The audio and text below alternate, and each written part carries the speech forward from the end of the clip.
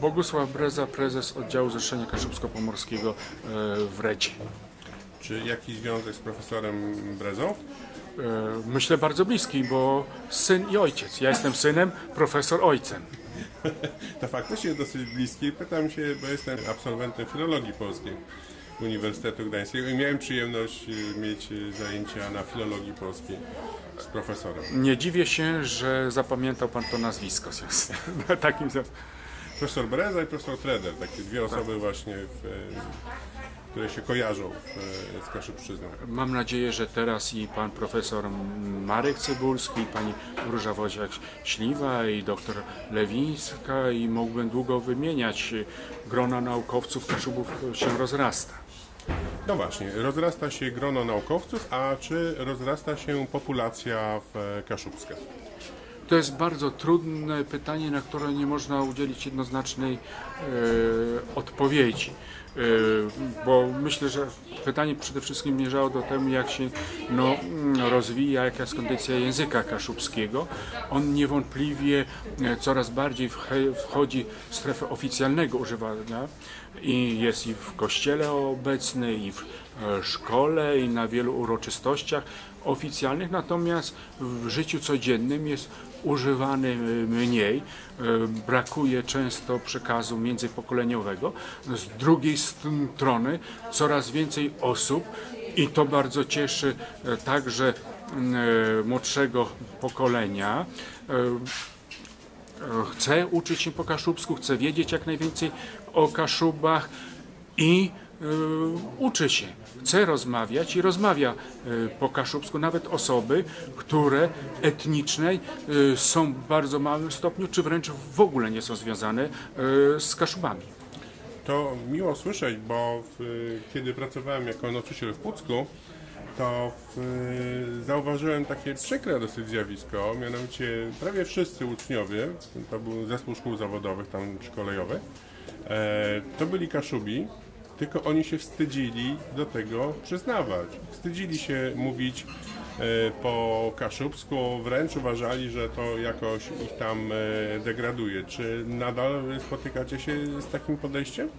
Znaczy na pewno to mm, e, nadal istnieje. Ja też mogę się rewanżować e, wspomnieniem, kiedy 20 czy 30 lat e, temu dwóch robotników rozmawia po kaszubsku i jeden pyta, jedziesz do Karc? Nie, ja na Kaszuby nie jadę. Więc to było obecne i takich przykładów można mówić dużo.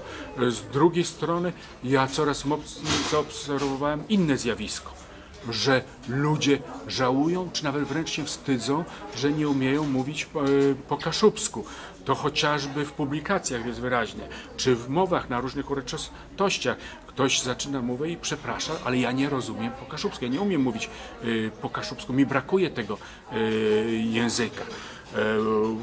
Były niedawno publikowane, promowane e, wspomnienie, właściwie wywiad e, Rzeka z księdzem arcybiskupem prymasem Muszyńskim, który urodzony w Kościerzynie mówi, żalem przyjmujesz, że nie znam języka kaszubskiego, ale się utożsamiam i z nim i z całą e, kulturą kaszubską i takich przykładów coraz więcej, naprawdę coraz więcej mógłbym też wymieniać. Czy Kaszubi już się dogadali, gdzie jest stolica Kaszub? A czy jest e, sens, żeby się dogadywali? E, Kaszuby są tak piękne i tyle dają możliwości, że nic dziwnego, że dyskutujemy o tym, chociaż też większość z nas ma świadomość, że tą rolę stołeczną pełni e, Gdańsk, gdyż on jest największym miastem, wokół którego no, w sensie etnicznym Kaszubi nadal są, się rozwijają, żyją. Tam też jest siedziba główna naszej organizacji Zrzeszenia e, Kaszubsko-Pomorskiego. Tam była siedziba naszych poprzedników, e, czyli Modo e, Kaszubów i tu też dużo można mówić. Kilka tygodni temu głośny był e, list e, Kaszubów do premiera Tuska na temat związków partnerskich. Tutaj podczas rozmów e, dwie osoby, z którymi rozmawiałem, powiedziały, że jakby tym, co bardzo cechuje w e, Kaszubów, jest religijność, związek z Bogiem. E, To prawda?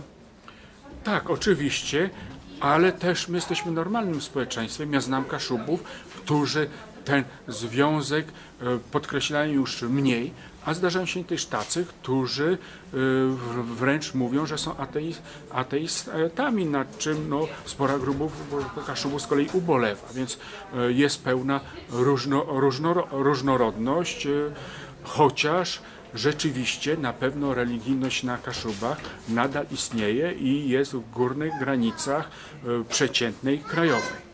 Tak, i, i, i są y, przecież y, na Kaszubach miejsca o na przykład bardzo y, dodatnim przyroście naturalnym, prawda? Bo tak, rekord Polski jest chyba tutaj. e, tak, tak. E, w Redzie, Sierakowice szczególnie chyba. Sierakowice, e, to, tak, ale w, również w Redzie, chociaż to jest inna sytuacja, bardziej ze względu na przyjezdnych niż na społeczność kaszubską, bo społeczność kaszubska liczbowo się zmniejsza, Reda rozrasta się poprzez no, nowe osiedla i przypływ ludzi z wielu regionów. Także z Kaszub, ale nie tylko e, z Kaszub. Co jest kwintesencją kaszubskości na poziomie życia codziennego, zwyczajów, tradycji? Nie sposób odpowiedzieć na to pytanie e, jednoznacznie, na pewno tego e, nie zrobię. Ale moim zdaniem takim e, jednym z najważniejszych elementów jest świadomość. Bez świadomości nie byłoby kaszubskości, nie byłoby e, kaszub i to podwójnej e, świadomości. A raz nas kaszubów, że czym się różnimy, co dla nas jest e, ważne, jesteśmy kaszubami. Po drugie dla osób z zewnątrz, którzy nas postrzegają jako właśnie e, kaszubów. I ten czynnik świadomości, samoświadomości w moim przekonaniu jest no, jednym z najważniejszych.